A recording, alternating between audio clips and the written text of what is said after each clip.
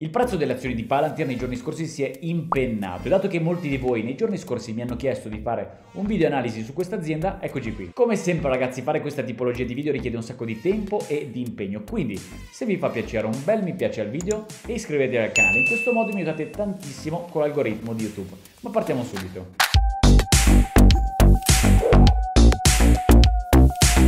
Tra i motivi per cui il prezzo si è impennato troviamo sicuramente il fatto che il report dell'ultimo quarter sia andato molto bene e anche il fatto che molte figure autorevoli abbiano iniziato ad investire in Palantir, tra cui George Soros. Conosciuto da molti lettori della rivista non ce lo dicono.com come un rettiliano di 1480 anni che ha creato questo vaccino insieme ad altri poteri forti per avvelenarci e grazie al 5G far esplodere diciamo il tutto quelle robe lì sostanzialmente. Conosciuto invece da me, ma come anche spero da molti di voi, come un grande imprenditore, un grande uomo della finanza, uno dei top al mondo in tutto ciò che riguarda investimenti e finanza, sicuramente anche un uomo molto controverso. Ma come possiamo vedere, George Soros ha comprato più di 18 milioni di azioni di Palantir e inoltre ci ha anche recentemente investito la graziosa Katie Wood di Ark Investment, uno degli hedge fund più di successo del momento che io personalmente seguo e monitoro. Bene, se parliamo di Palantir, innanzitutto dobbiamo dire che è stata cofondata da Alex Karp, ma anche e soprattutto da Peter Thiel. Magari qualcuno di voi lo conoscerà, avrà già sentito parlare di lui o magari ha letto il suo libro da 0 a 1, un libro che consiglio fortemente. Per chi non lo conoscesse, Peter Thiel è un multimiliardario americano, ha cofondato insieme a Elon Musk PayPal decine e decine di anni fa Inoltre è un grande amicone di Elon Musk, infatti è anche uno dei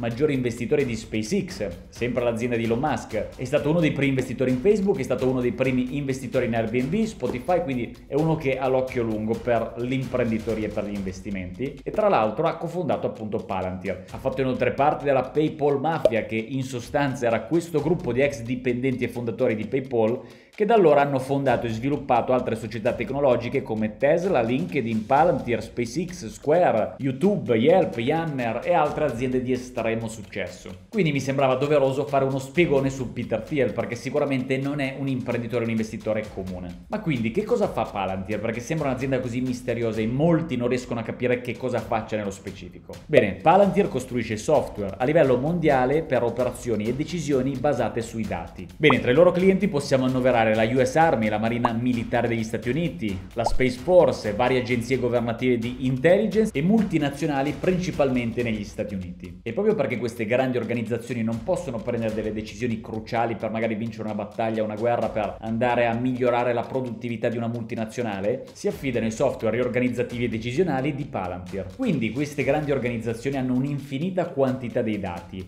ma questi dati non seguono un filo logico, sono dei dati disorganizzati, non sono organizzati propriamente. Di conseguenza, anche se hanno un'infinita quantità di questi dati che potenzialmente gli potrebbero, una volta elaborati, far prendere decisioni migliori, così non è. Quindi cosa succede? Che arriva Palantir che fa proprio questo, fa in modo che i loro dati e le loro decisioni e la somma di queste due cose sia organizzata al meglio tra di loro. Il loro software ovviamente è organizzato tutto in un'unica piattaforma e fa in modo che tutti i dati, una volta elaborati, prendano le decisioni nella maniera più rapida possibile e nel miglior modo possibile. E come vi dicevo inizialmente, Palantir non è utilizzato solamente dai governi e dagli enti governativi, ma anche dalle agenzie di intelligence e anche da grandi multinazionali. Una per esempio in particolare, credo che la conosceremo tutti, è un'aziendina piccolina, l'azienda di Elkan e di Agnelli, quindi il gruppo Fiat Chrysler, che utilizzano software di Palantir principalmente negli stabilimenti del Nord America, per identificare i problemi di produzione, i potenziali rischi legati alla sicurezza, che ha permesso al gruppo Fiat Chrysler di risparmiare potenzialmente milioni e milioni di dollari. Un'altra azienda con cui lavorano per esempio è Airbus, quindi la famosa compagnia aerea che utilizza i software di Palantir Palantir per velocizzare la produzione dei loro nuovi aircraft. Ora che sappiamo quello che Palantir fa, dobbiamo anche sapere che gli esperti prevedono che il mercato, il business dei dati sarà il doppio più grande tra 5 anni, quindi entro il 2025 rispetto ad oggi, passando da 138 a 230 miliardi di dollari. E per farvi un esempio lampante, ragazzi, il business dei dati è uno dei motivi per cui Netflix ha ucciso Blockbuster. Infatti, cosa fa Netflix? Migliora l'esperienza utente andando a consigliarti dei film che probabilmente ti potrebbero piacere e molto spesso ci azzecca. Come fa questo? Perché ha registrato un sacco di dati in base a film che abbiamo visto che ci sono piaciuti, serie tv eccetera, Netflix grazie a tutti questi dati nostri passati riesce a dire ok, tu hai guardato questo, questo, questo, io ti consiglio questo perché in linea di massima è simile con le altre cose che tu hai guardato in passato. E non solo per migliorare l'esperienza utente nel consigliare film, ma proprio anche nella produzione di film e serie tv. Per esempio, io so che la maggior parte dei miei utenti Netflix guardano, non lo so, le serie tv stile Peaky Blinders, quindi a quel punto Netflix dice ok, piace questo genere gangster, violento, eccetera, quindi andiamo a produrre un film o una serie tv simile. Tanto sicuramente se è piaciuto a un sacco di persone guarderanno anche questo film e di conseguenza Netflix incasserà più soldi. Questo è il potere dei dati. Ma Palantir l'ha capito già da mo', già dal 2003, che è l'anno in cui è stata fondata. Una cosa tra l'altro che mi ha colpito particolarmente è la dichiarazione che ha fatto il CEO dell'azienda di Palantir, cioè ha detto che lavorare con i governi è un qualcosa di molto complicato perché i governi tendenzialmente lavorano con aziende con cui lavorano da anni per un fatto di fiducia, eccetera. Di conseguenza questo è un fattore molto positivo perché Palantir è già un sacco di anni che lavora con il governo. E ovviamente non parliamo da contrattini da 20.000 euro al mese, parliamo di contratti da 823 milioni di dollari, oppure contratti da 80 milioni di dollari come quello concluso recentemente con la Marina, oppure contratto strappato all'esercito da 111 milioni di dollari. Quindi come possiamo vedere non è un'azienda che vende prodottini low ticket, ma si parla di big money. Andiamo però ad analizzare anche il report che Palantir ha rilasciato giusto qualche giorno fa. Infatti ci si aspettava il 22 di settembre, come possiamo vedere prima che venisse rilasciato il report, che i guadagni sarebbero stati dai 278 ai 280 milioni. In realtà le revenue, quindi i guadagni, sono stati di 289 milioni. Hanno inoltre appena annunciato anche un nuovo contratto da 5 anni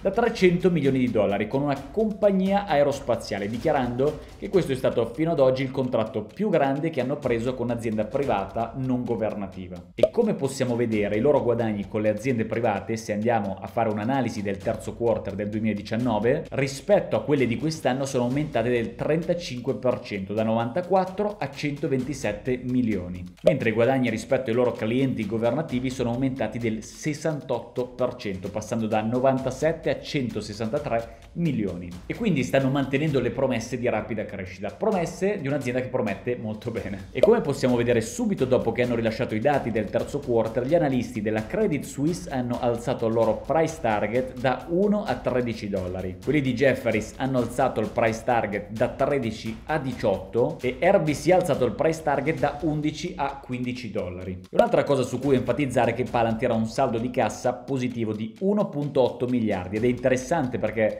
la compagnia ha fatto una perdita netta di 853 milioni in questo quarter. Ma se andiamo a vedere il motivo di questa perdita sostanziosa, possiamo notare una voce in particolare che è il Total Stock Based Compensation Expense, che è un modo che consente all'azienda di pagare in azioni i propri dipendenti e manager della società. Ma questa secondo me è una giocata strategica molto intelligente dell'azienda perché se tu paghi i tuoi dipendenti con questo metodo ti assicuri innanzitutto di mantenere dei dipendenti per diversi anni, perché i dipendenti potranno riscuotere quel pacchetto di azioni nel momento in cui poi le azioni saliranno nell'arco di tot tempo, quindi si dà una data di scadenza per riscuotere quelle azioni. E questo per l'azienda significa mantenere i dipendenti, perché ragazzi lo sappiamo benissimo tutti che quando un dipendente lascia l'azienda, questo significa spese per l'azienda perché devi formare un'altra persona, ovviamente ci metterà un po' di tempo prima di entrare nel processo aziendale, quindi questa è una giocata intelligente gente. In più, in questo modo si allineano perfettamente gli obiettivi dei dipendenti del management rispetto a quello degli investitori, quindi tutto l'ente Palantir va verso la stessa direzione e in più l'azienda in questo modo non deve tirare fuori cash, quindi lascia lì da parte una riserva di liquidità. Quindi credo che questa sia stata una mossa strategica molto furba. Detto ciò ragazzi, per questo video è tutto, io spero che il video vi sia piaciuto e vi sia stato utile. Ditemi ovviamente sotto nei commenti se avete già aperto delle posizioni in Palantir nei giorni precedenti in maniera anche molto saggia dato l'andamento delle azioni in questi giorni. Ditemi che cosa ne pensate in generale di questa azienda, mi fa come sempre molto molto piacere. Per questo video è tutto, noi ci rivediamo nel prossimo.